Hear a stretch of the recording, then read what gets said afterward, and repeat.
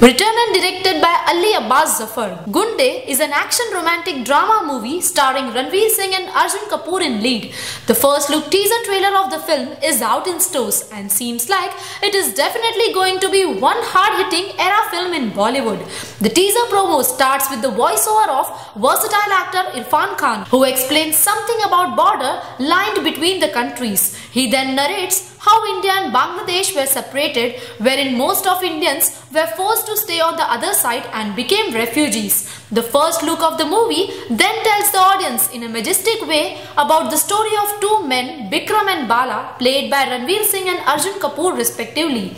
Gunday is a story of two boys where the boys who became refugees, refugees who became gun couriers, gun couriers who became coal bandits and the coal bandits who became Calcutta's most loved, most celebrated, most reckless, most fearless and most powerful Gunday. The backdrop of the film is set in the 70s and 80s era of Calcutta. Both Ranveer and Arjun are essaying the roles of strong and sinister black marketing men from the mafia.